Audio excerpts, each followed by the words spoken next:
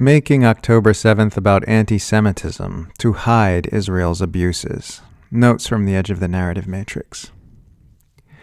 They keep telling you October 7th happened because Hamas hates Jews, because they don't want you asking questions about Israel's actions which provoked the attack.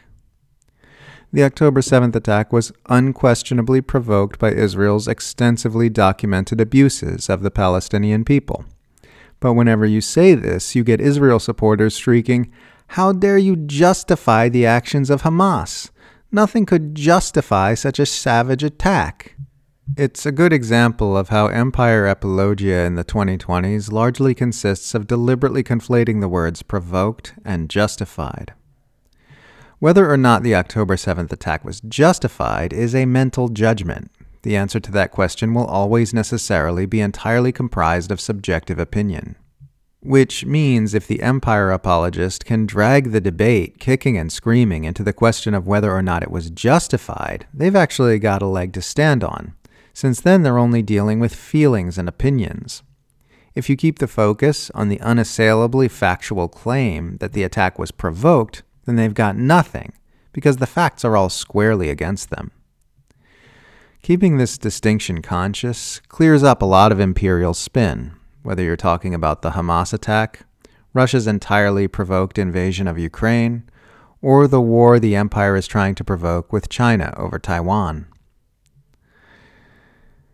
The Imperial spin machine is smearing people who ask inconvenient questions about October 7th with accusations of October 7th denialism, a phrase which is deliberately worded to invoke the emotional response that people have to Holocaust denialism. The thing about this charge is that, unlike Holocaust denialism, nobody actually denies that the October 7th attack happened.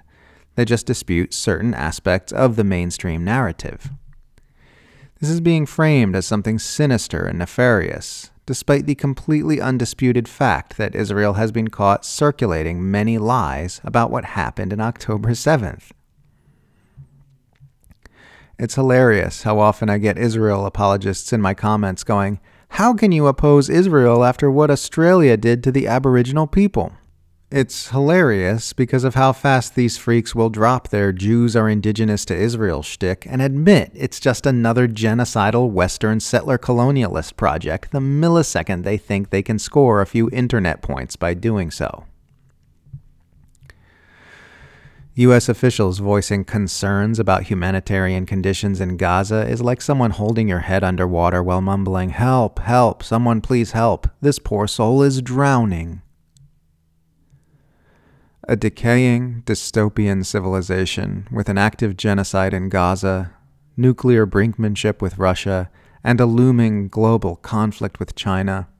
And all you're encouraged to discuss politically is whether Donald Trump is a big, brave hero sent by Jesus or a big, meanie Cheeto man. It's not just that you can't criticize the actions of a foreign state without being smeared as a Jew hating Nazi. You can't even criticize your own country's military allegiances to that state, or your own country's media for its journalistic malpractice when covering it. That's about as batshit insane a political dynamic as you could possibly come up with. But here in the Western Empire, it's regarded by the political media class as not only normal, but actually quite healthy.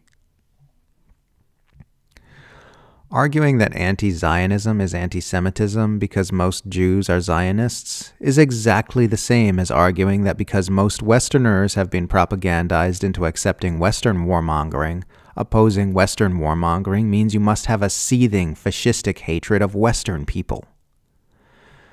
Jews get indoctrinated just like everyone else throughout the Western Empire.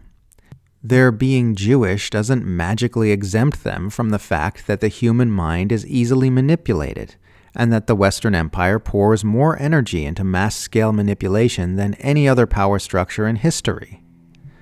Saying it's hateful to oppose the imperial depravity that people were indoctrinated into accepting in the Middle East is like saying it's hateful to oppose the warmongering against China that the public is currently being indoctrinated into supporting here in Australia. Most people in our society are deeply indoctrinated into supporting the agendas of the massive, globe spanning power structure we live under. This is true regardless of what religion they happen to belong to.